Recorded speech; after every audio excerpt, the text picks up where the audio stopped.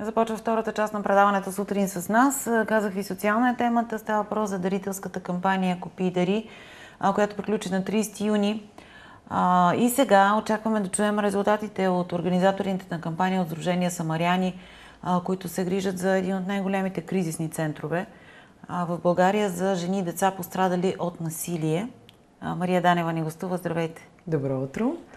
А, ясно е защо е необходимо. По-скоро, може би да кажем, защото сега, като си говорихме, а, трябва да кажем, че всъщност центъра има подкрепата на държавата. Това е държавно делегирана дейност, но защо се налага да се събират още средства и продукти? Точно така, Самарянска къща, кризисният център, който Сдружение Самаряни вече повече от 15 години управлява и, както казахте, най-големия в а, Южна България, а, функционира благодарение на държавна делегирана дейност. А, това е бюджет, който ние получаваме от, от държавата, чрез общината, като на всеки три години се явяваме на конкурс, за да защитим а, правото да управляваме кризисния център като външен доставчик.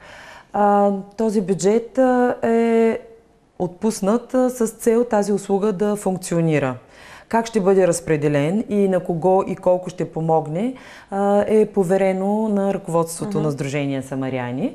И за това, а, и не само за това, ние много целенасочено провеждаме различни инициативи, както дарителски, така и информационни кампании, защото смятаме, че темата за превенция на насилието трябва да достига все повече и повече хора.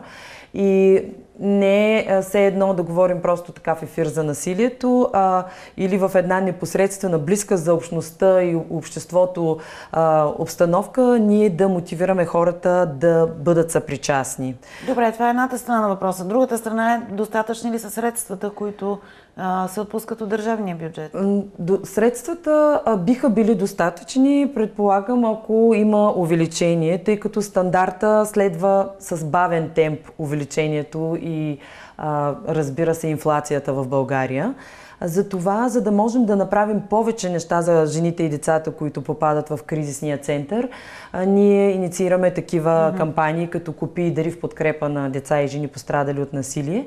А, сега за три дни в един много голям хипермаркет, заедно с Ротаракт, мотивирахме, канихме дарители стързагорци и не само, хора, които посещаваха този магазин, да се включат, като дарят. А, имахме препоръчителен списък от Имате стоки. списък, да, който е да, е приложен там. Който да. е приложен и а, за наша така изненада ние за трета поредна година провеждаме тази дарителска кампания. С всяка година нещата, които получаваме като дарения са все повече, което ни радва. От една страна разбираме, че а, така, българина разбира дарителството, все повече е склонен да дарява. И от друга страна, а, това, че ние можем да получим повече подкрепа, която да използваме в по-дългосрочен план. Вие сте заложили обаче на хранителни и хигиенни а, и консума... продукти и консумативи. Така е, да. От, Защо... от това ли имате нужда? А, всъщност, винаги имаме от разнообразни неща uh-huh. нужда. Няколко, само предната седмица, примерно, имахме нужда от а, мебели и оборудване във връзка с подкрепата на една жена, която напуска кризисни, вече напусна кризисния център и започна своя живот самостоятелно, без насилие.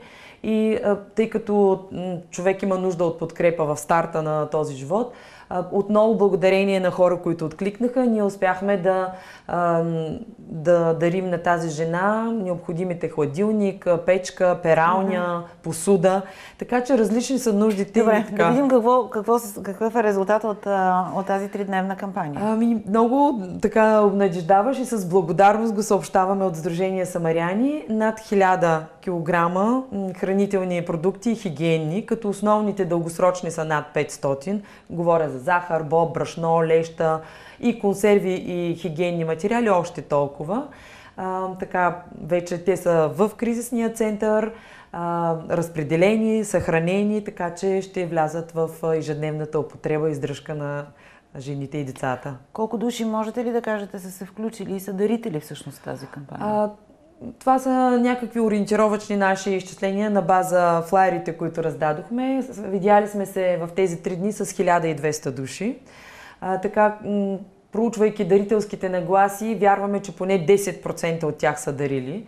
А, имаше много впечатляващи истории. Ако ме позволите, ще ви разкажа да. една от тях. Младо семейство, което влезе заедно със своето дете в ам, магазина, беше информирано от нашите доброволци за кампанията.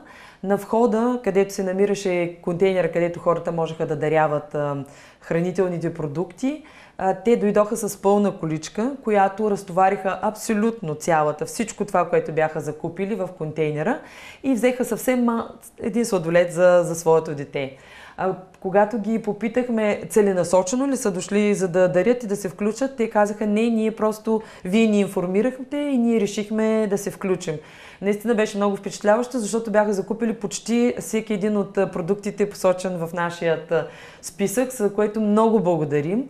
Забелязахме, че всъщност дарителите са или хора, които вече са участвали, защото имаш хора, които съвсем целенасочено дойдоха за да участват в кампанията, или хора, които имат бизнес и вече са участвали в подобни кампании, защото те се провеждат обикновено около Рождество и Велик ден, mm-hmm. са много популярни и за подкрепят редица други уязвими групи. А, или а, млади хора на така възраст между, може би, 20 и 35-40 години със своите деца. И беше много насърчително за нас, защото една от а, идеите, които ние имаме е да насърчаваме дарителство още от най-ранна детска възраст. И това беше много приятно и впечатляващо да бъде наблюдавано. Също така в акцията се включиха петима доброволци от Самарянска доброволческа служба и 10 служители от Самаряни. В рамките на 39 часа ние мотивирахме, разказвахме, говорихме. Това беше наистина една възможност да, говорим лице в лице mm-hmm. с хората за кризисния център. Значи можем да кажем, че акцията е успешна. Много Всъщност, успешна. Всяко едно дарение засяга всеки един човек, така че дори по-малко да е то вече променя нечия съдба. Колко са жените настанени при вас в момента? В момента имаме две жени с техните четири деца а, в кризисния център. Иначе капацитета на кризисния център е 15 души. Mm-hmm.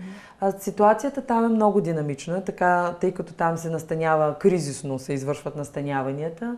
И както днес сме примерно с а, 6 човека, до края на седмицата може да бъде и пълен капацитета често се случва Що в рамките две, две жени не са чак толкова много. Да, да, в смисъл казвам, че постоянно имаме динамика. Да. Миналата седмица бяха 12. В рамките на един ден настанихме три жени с техните деца. Така, Очевидно бързо са напуснали. А, да, имаше бързо справяне с ситуацията, подкрепяща среда. Колегите, социални работници, психолози, uh-huh. така много активно работят, за да се справят жените и децата с кризисната ситуация.